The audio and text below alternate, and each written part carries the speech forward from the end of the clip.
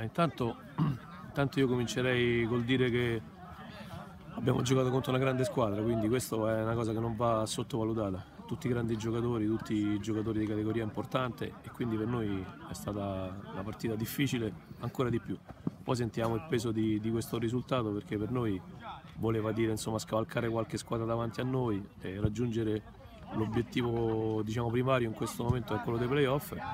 con un po' di errori, con un po' di, di, di, di fatica e, e, anche con un pizzico di fortuna e con un grandissimo gol di Zullo alla fine siamo riusciti a portare questo risultato fondamentale, importantissimo che ci, ci permette di, continuare a sperare per questo obiettivo che ci siamo prefissati. No, premesso che l'assenza di Seferi non è che scopro, la scopro io né, né nessun altro, è un'assenza fondamentale, però bisogna ringraziare questi ragazzi perché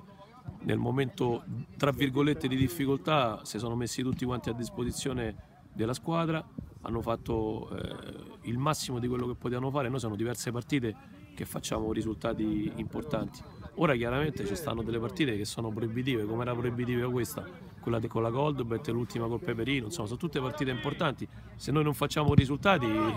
è chiaro che rimane tutto difficile, è tutto ancora da giocare, insomma mancano 3-4 partite e proveremo a dare il massimo di quello che possiamo fare. Insomma.